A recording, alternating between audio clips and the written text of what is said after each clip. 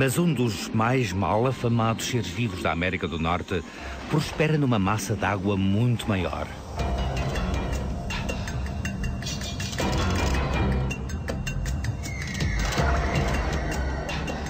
Tem o perímetro de um búfalo, o apetite de um urso cinzento e as riscas de um tigre.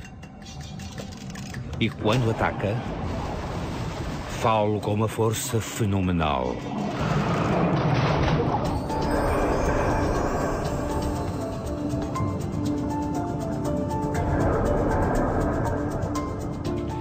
Assim chamado por causa das riscas no seu dorso e distinguido pelo corpo grosso e focinho rombo, o tubarão-tigre é capaz de atingir mais 6 metros de comprimento e de pesar quase uma tonelada.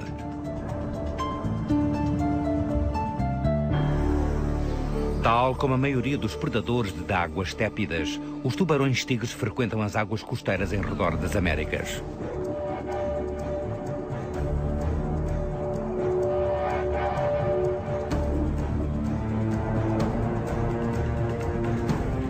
Os tubarões-tigres estão equipados para matar, sendo capazes de agarrar as maiores e mais duras presas, como manatins e tartarugas, e de cortar ao meio.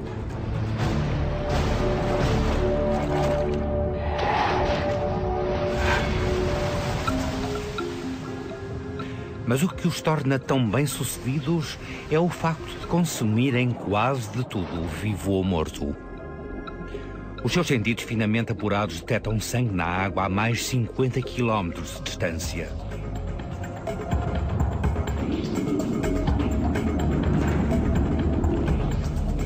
Estes tubarões gigantescos habitam tanto a água livre como as águas pouco profundas junto à costa. Sentem-se tão confortáveis a 400 metros de profundidade como a 4. E percorrem grandes distâncias.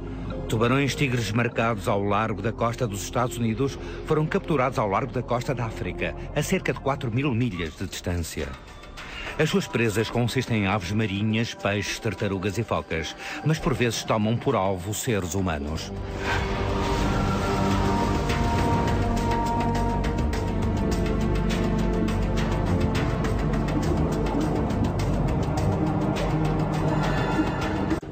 A silhueta de um surfista vista de baixo assemelha-se a uma foca a nadar, o que pode explicar porque alguns tubarões os atacam.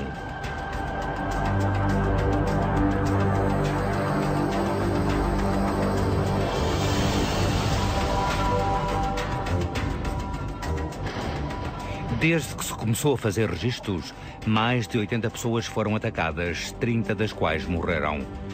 Mas os tubarões-tigres e os seus parentes passam por muito piores.